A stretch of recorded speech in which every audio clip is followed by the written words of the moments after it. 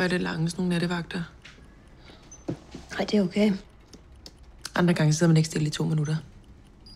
De vagter er helt klart sjovere. Tænk på, om jeg lige skulle tage en runde, se om der er ro på. Gør du det? Så sidder jeg bare her og keder mig ihjel imens.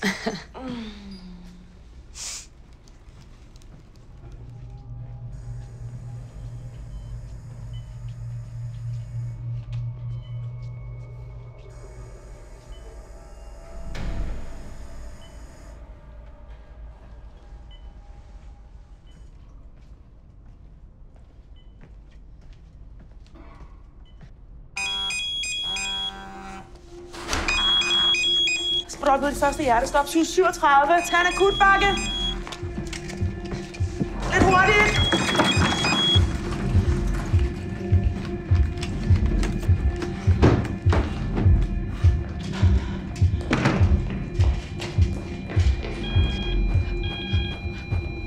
Hvad skal jeg gøre? Skal jeg hente nogen? Jeg har trykket på hjertealarm. Hjertestop holdet på vej. Sæt det i fint til. Øhm, Undskyld, jeg har ikke prøvet det her før.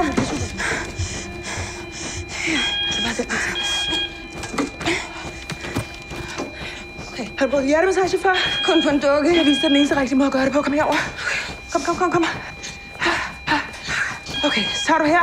Så presser du bare til. Fuck dem, der brækker nogle ribben. Ja. Okay, nu lytter du rigtig godt efter. And so you're back. Fyld rytmen. From outer space.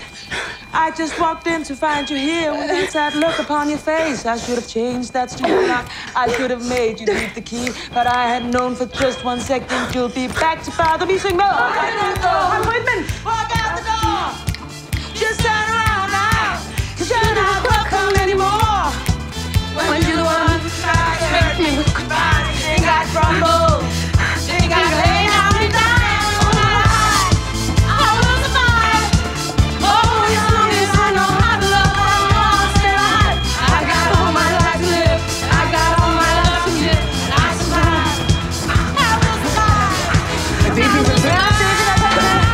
Fight. Stop hjertemassagen. Vi har en stødbar rytme.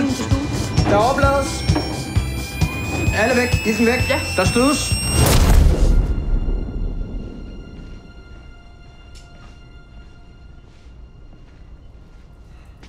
Så instabil.